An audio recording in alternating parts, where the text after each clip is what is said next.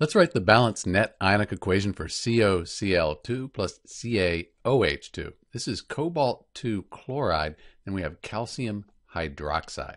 So the first thing we need to do when we write these net ionic equations, we need to balance the molecular equation. This is the molecular equation, and it's already balanced, which is really nice. Because now we can write the state for each substance. And that looks like this. So compounds with the chloride ion, they're in general very soluble. Calcium hydroxide here, calcium hydroxide, hydroxides in general are insoluble, but calcium, that's an exception. Calcium hydroxide, we consider this to be aqueous, soluble in water. So we're going to split this apart into its ions.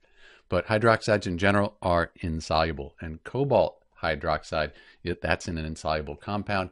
What that means is these two will react. We produce this cobalt hydroxide, which is a solid falls to the bottom of the test tube as a precipitate. So that's our solid there.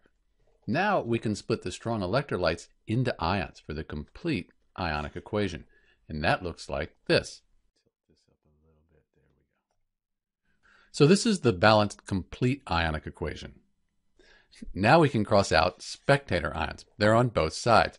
The reactants on top, I have two chloride ions. On the products, two chloride ions. Cross them out. I have a calcium ion here in the reactants, and in the products, I have the calcium ion. Cross that out. What's left, that's the net ionic equation for cobalt 2 chloride plus calcium hydroxide. I'll clean this up and write the states. We'll have our net ionic equation. So this is the balanced net ionic equation for CoCl2 plus CaOH2. You'll note charge is conserved. We have a 2 plus here, 2 times 1 minus, that's 2 minus. So that adds up, net charge of 0. This is neutral, net charge of 0.